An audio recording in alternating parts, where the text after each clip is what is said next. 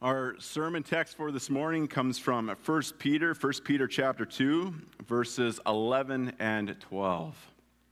And let's read that together.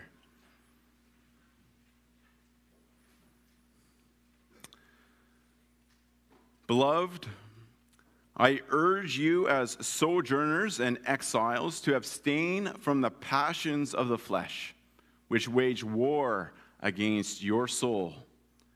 Keep your conduct among the Gentiles honorable, so that when they speak against you as evildoers, they may see your good deeds and glorify God on the day of visitation.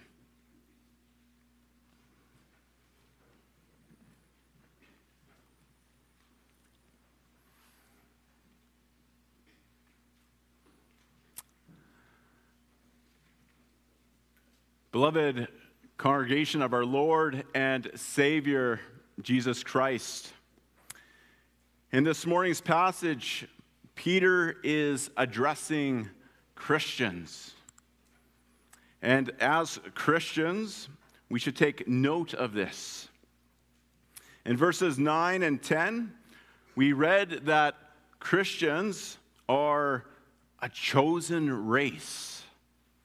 They are a royal priesthood, a holy nation, a people of God's own possession. And for this reason, Christians are, are beneficiaries of God's mercy. They receive God's mercy. You receive God's mercy. All these titles and benefits are granted to them through the faith that has been worked in them and unites them with Jesus Christ. And in this, we notice an expression of, of God's love and his grace. And the address, the address beloved, reflects this reality. And Christians are, are also citizens of God's kingdom and their allegiance has been, has been claimed by him. So Peter rightly call, calls God's beloved sojourners and exiles. They are, they are pilgrims on earth.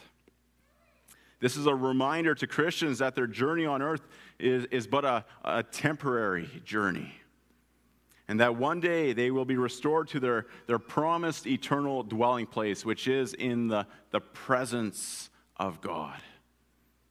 It would be good for us to keep in mind that this applies to God's people of all times and ages.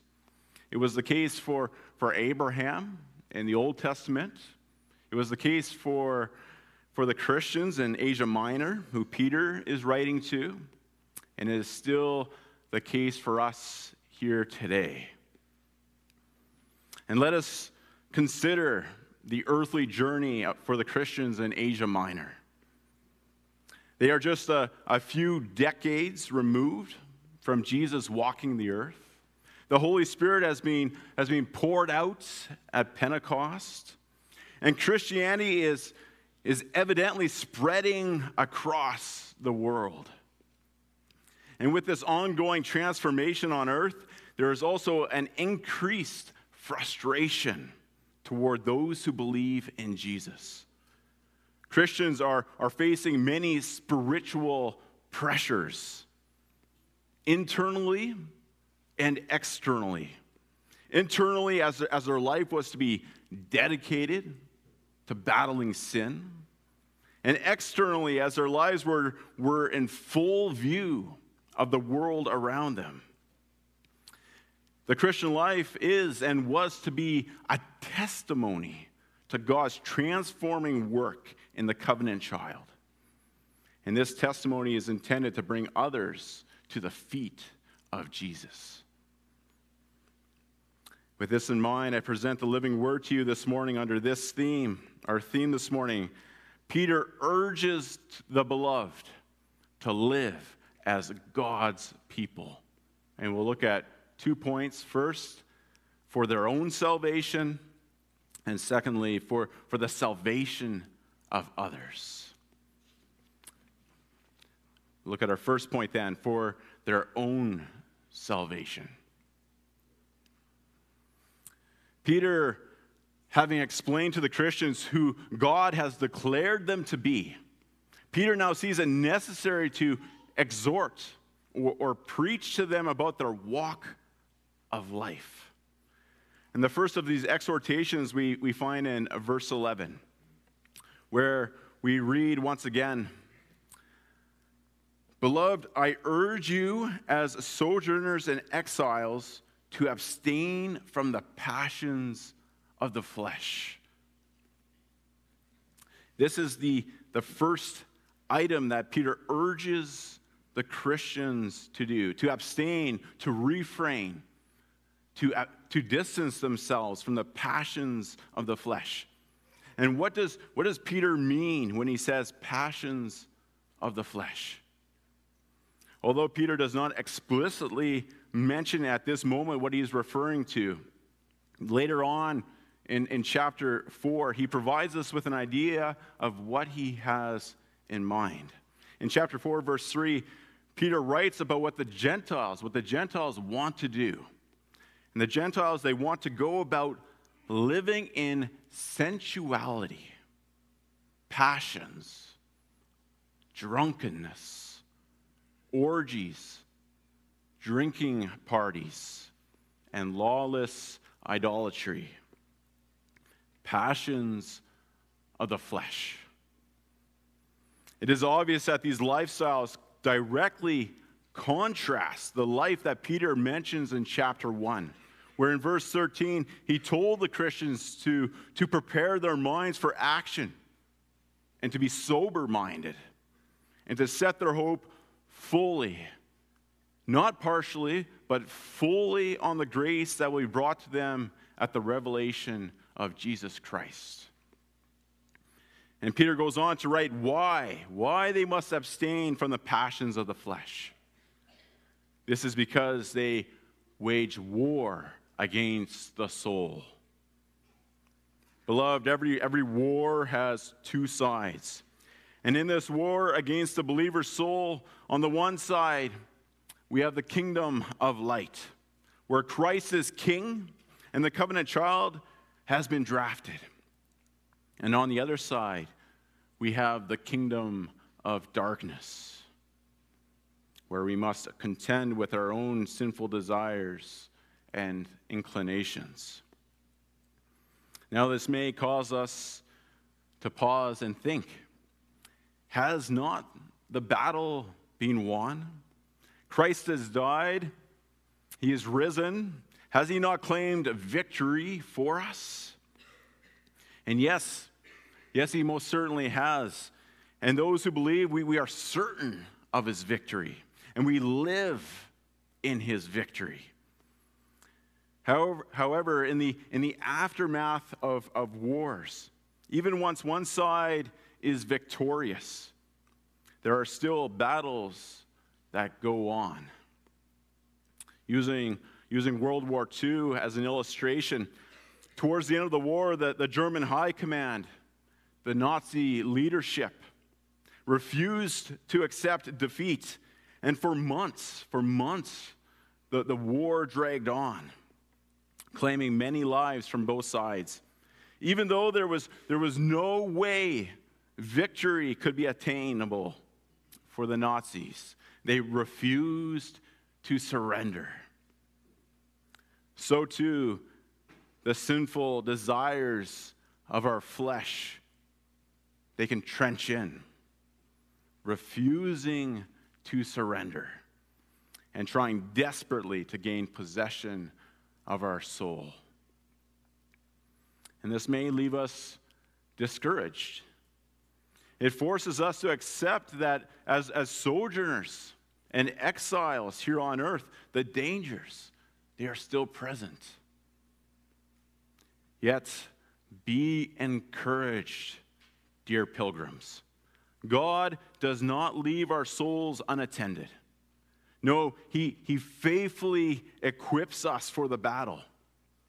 In Ephesians chapter 6, which we read together, Paul reminds the believer of the armor that God provides his soldiers. And this armor, it is for all God's people. And that includes you as well, boys and girls. You too are a soldier in the Lord's army. So you too receive God's armor.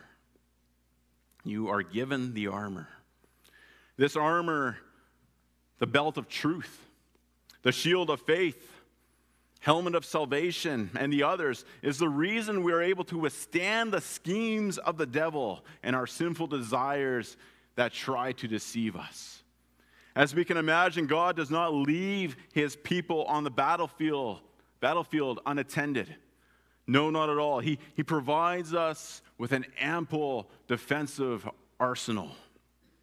We are fully equipped by God to defend our souls from the enemy. Let us then not, not live as those who do not have the armor. As God's children, we are called to, and we read this in, in verse 9, we are called to proclaim the excellencies of him who called us out of darkness into his marvelous light. Sadly, it can happen that those who are, who are fully equipped with the armor of God become arrogant, proud, complacent, and decide not to use what God has provided. The, the flaming darts come but they do not raise their shield in defense. In fact, some may actively position themselves in, in harm's way, inviting the blows of the enemy upon the body. And after a while, the damage becomes great. And it may happen that those that, that they no longer will desire to proclaim those ex- excellencies the excellencies of King, King Jesus as vibrant as they once did. And eventually, those joyful, those joyful shouts of, I am free. I am free through him who ransomed me. I am free through Jesus who ransomed me, will become cries of despair as they find themselves enslaved by the enemy.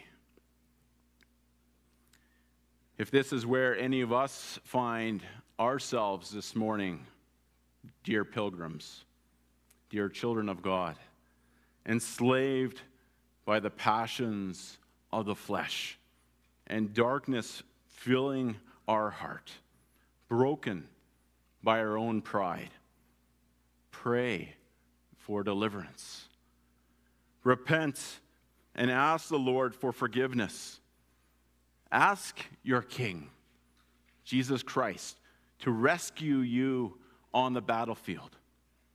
If you find yourself greatly wounded because you have engaged in sensuality, mindfully allowing your eyes to look where they ought not, reading literature that causes the heart to wander far from God in order to satisfy the passions of, of the flesh,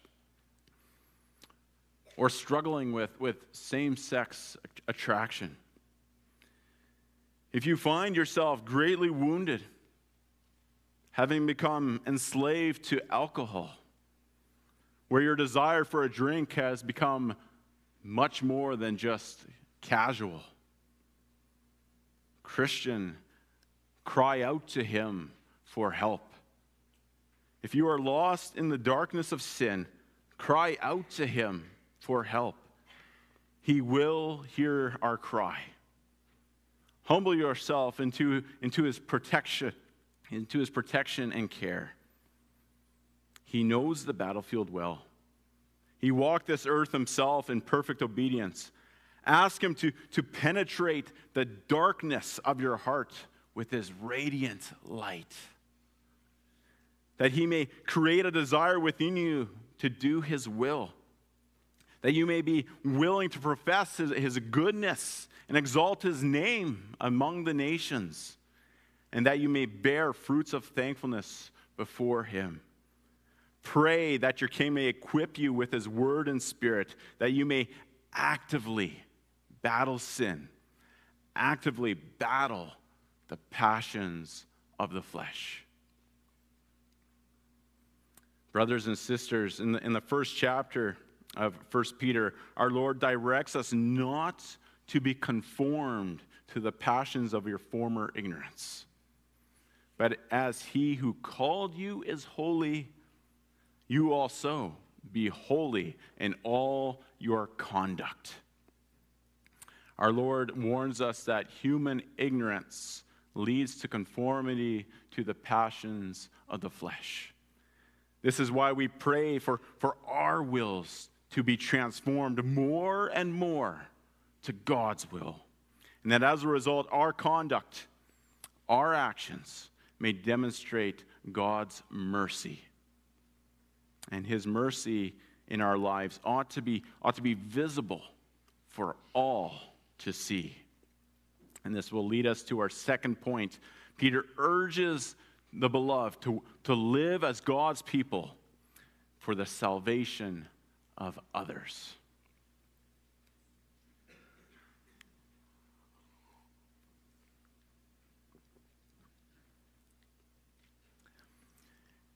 In our, in our second points point and exhortation, Peter issues another command towards Christians.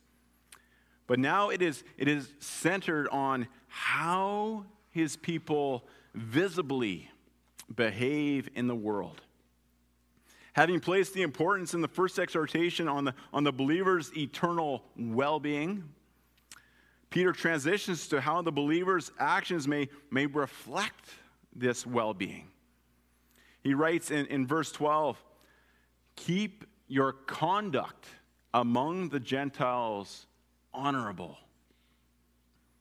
And the identity, the identity of the Gentiles should be considered as those who do not yet desire to do God's will. Those yet living in their ignorance. And among such people, we are to behave honorably. The Christian, having been transformed, the Christian's reason for behaving honorably has changed. We do not behave honorably simply to, to garner respect in the communities in which we live, but rather to proclaim God's excellencies through our good deeds. That is the main purpose. It is an act of, of beautiful obedience to the king. And why is it that Peter commands the Christians to behave in a way that proclaims God's excellencies? Because, as we re- read on, so that when they, the Gentiles, when they speak against you as evildoers, they may see your good deeds. They may see your good deeds. Dear Christians, Peter knows that the world is watching. Whether it be the, the, the church at large or whether it be individual believers, the world is watching. That is why the believer's behavior is, is so important. Because we are not representing just ourselves, but also the King, Jesus Christ who has claimed us. And as a, as a way of, of illustration, we could think of our, our Canadian, South African, or, or Australian citizenship. Citizens that, that travel to another country, such as, such as Canada to Korea, Australia to Canada, or South Africa to Canada. Those who travel may be observed by the locals of those countries. And after some time, the locals may, may likely form perceptions of the country we come from by how we behave. If we behave poorly, the country we come from may be thought of as uh, in, a, in a poor manner. If we are well behaved, the country we come from may be well thought of among the, the locals. And so, too, a similar scenario can happen with the outward behavior of the believer. How the professed Christian behaves on earth speaks volumes to the world. Now, knowing this, we must be somewhat careful. Often, often our impulse is to make sure that the world does not speak poorly of us or, or Jesus. And this fear of being spoken poorly of can, can cause us to compromise in some way. For example, what would we do if an acquaintance, or we can even say a friend, invites us over to, to watch a show or a movie, and there is blasphemy or nudity or excessive and unwarranted violence in the show? Would we sit through it and not utter a word? Or would we speak up and stand up and leave if necessary? Going through, through such a scenario may, scenario may, may leave us concerned with what our friend or acquaintance may, may think of or think or, or say about us. Let us then not overlook the phrase, when they speak against you as evildoers. It is not a matter of if they will speak against us, but when. When they speak against you as evildoers. It is inevitable. It is not uncommon for, for his faithful church to be on the receiving end of verbal attacks from groups such as the LGBTQ community or pro abortion community. Those living in ignorance will always speak in opposition against the faithful church, slandering Christ's bride. So we should not be shocked when confronted by slanders. Remember God's rebuke towards the serpent in Genesis chapter 3. I will put enmity between your offspring and her offspring.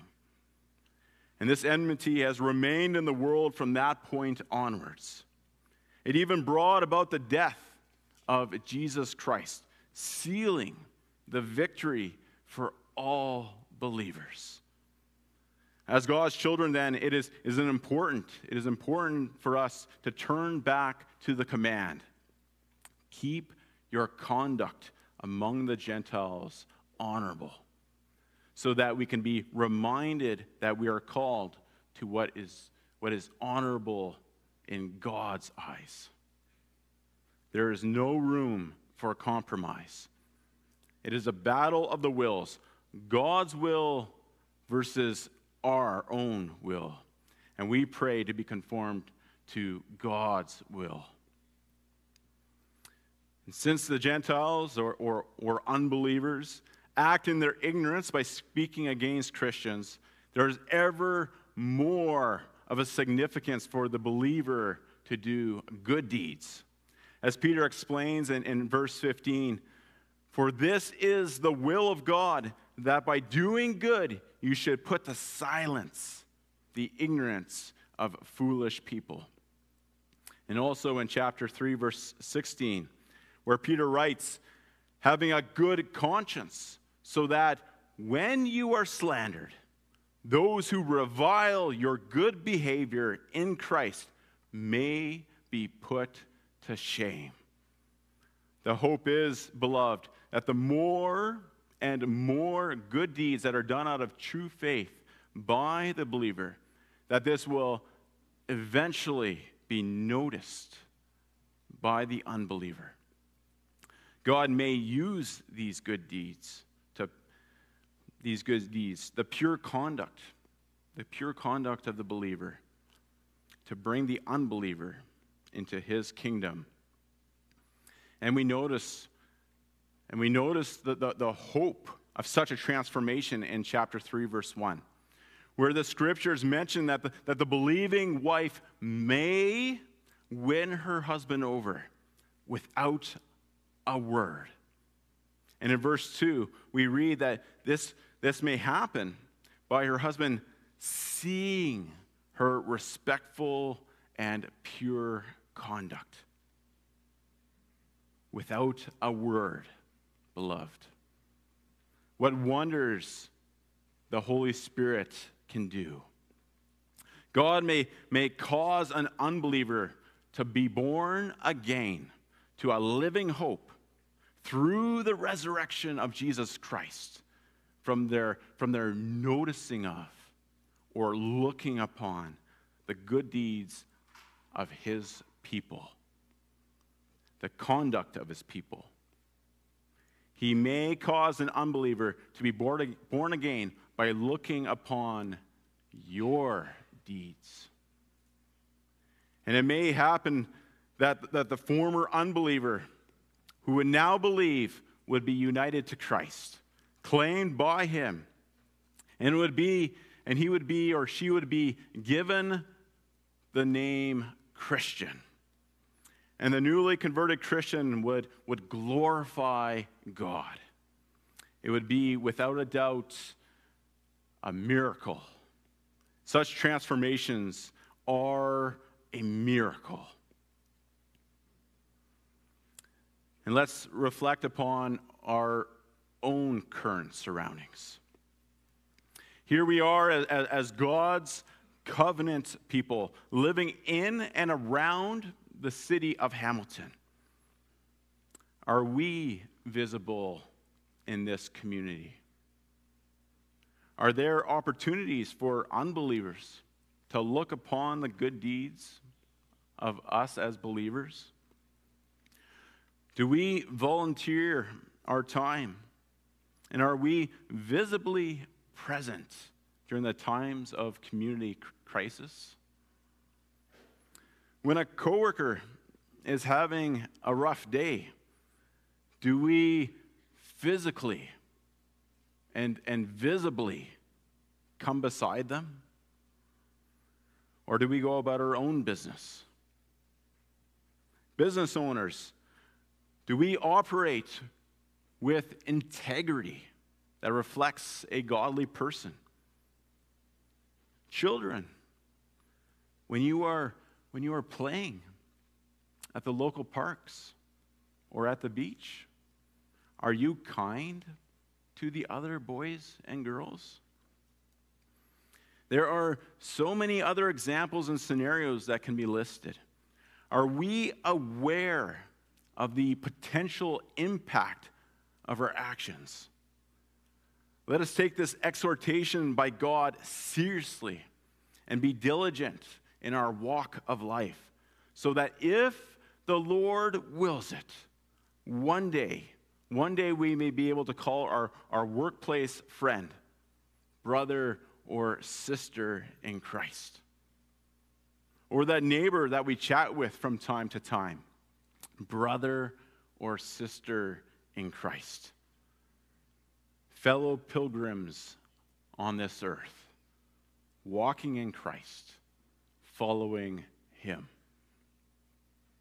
In both of these exhortations this morning, abstaining from the passions of the flesh and the command to keep our conduct among the Gentiles honorable, we notice God's, God's mercy and love. In verse 11, Peter is concerned about, about the salvation of the believer. God is concerned about the salvation of the believer. And in verse 12, he is, he is concerned about the salvation of the, of the unbeliever. And this is an incredible reminder that our God cares for and sustains and governs all souls on earth and he continues to gather all his elect to himself in preparation for the day of visitation, which we notice at the end of verse 12. So that all those who repent may glorify Jesus on that day when Christ returns. But we also witness his justice. For this is the reason Peter writes in verse 11 I urge you, I urge you, because what follows concerns not only salvation, but judgment. So there is a need, a need for urgency. We on earth do not know when the bridegroom will appear to claim his bride, nor do we know when we ourselves will die. Beloved of our Lord and Savior Jesus Christ, as Christians living temporarily on earth, do we truly love our neighbor as God does? Instinctively, we, we nod our heads and we nod our heads, yes, yes, I do. I love my neighbor. Well, then, as we, as we leave this church today, with our allegiance firmly established in Jesus Christ, let us, in the, in the week ahead, surrender ourselves to these exhortations from the living word. We ought to ask God to help us be particularly aware of our actions because those unconvinced may be watching us. In this, we should rejoice because when they see, when they see our good deeds, they may come to know of the love of God. And when that moment comes, when Jesus Christ, the good King, makes his, his incredible return, and if it is his good pleasure, we may share with those we love, whether it be that, that coworker or that neighborhood friend, we may share with those we love the opportunity to glorify and exalt him on that day together. May it be our prayer that this is indeed the case. Amen.